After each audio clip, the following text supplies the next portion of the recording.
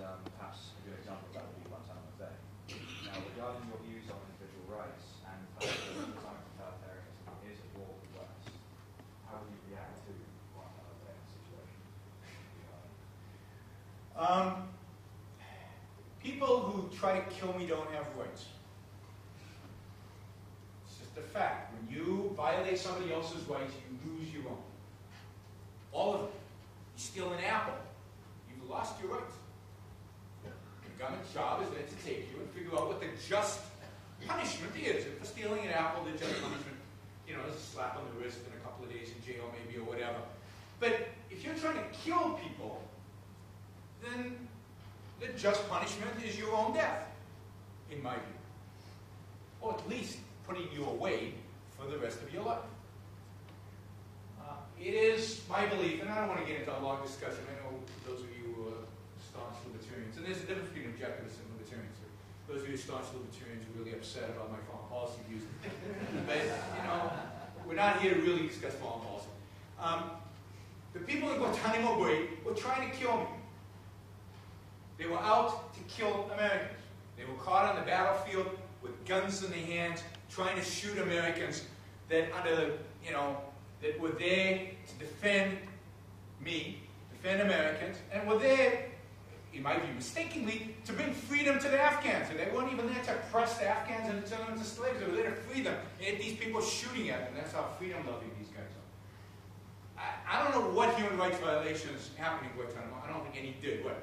The fact that they took the Quran and flushed it down the toilet, I mean, I can think of, uh, I don't view that as a, as a human rights violation. Um, they probably did, they probably did the people their favor. Um, I guess that's my.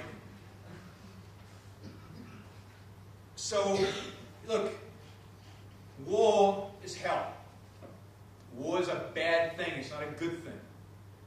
But the only responsibility of a government going to war, and assuming it's a just war, that is, it's a war in self-defense. The only, the only justice of a war is to defend yourself. When you go to defend yourself, you do whatever is necessary to win. That's the only consideration you should have. You know, and, and when the West had that approach to fighting wars, they won. You know? And that will involve killing a lot of innocent people.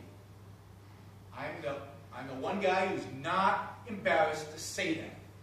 When you go to war, innocent people are going to die. Many innocent people. Just ask the children in Hiroshima and Nagasaki. They died. They were innocent. You can talk about the adults and question how innocent they really were. But the children clearly were innocent, right? They had nothing to do with this war. But they died. That's sad. And it's the fault of the Japanese. It's not the fault of Truman. It's the fault of the Japanese. They should have started World War II. Many children died at Dresden. Sad for the children. Tragic, even. Whose fault is it? Hitler's. Not Churchill for approving the bombing of Dresden. Indeed, Churchill and Truman are moral, ethical heroes for doing that and ending those wars and minimizing the casualties of their own people and ultimately in Japan of the Japanese themselves, but certainly of American troops. They are heroes for having the moral backbone to, to, be, to, to, you know, to do what was necessary to win. We today don't have that moral backbone, and therefore we fight unwinnable wars, endless wars, wars with no end. Many, many, many, many people are still going to die in the war we are fighting because we're not willing to win this. We're not willing to do what's necessary to win. Non-foreign policy questions.